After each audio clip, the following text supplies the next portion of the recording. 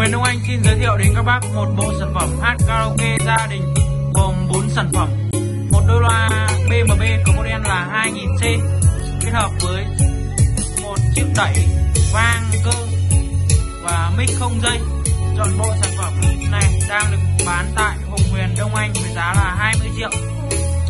Nếu các bác quan tâm tới bộ sản phẩm cũng như tất cả các sản phẩm nghe nhạc hát karaoke bên Hùng Nguyễn Đông Anh thì xin mời liên hệ tới số điện thoại 0984 285 477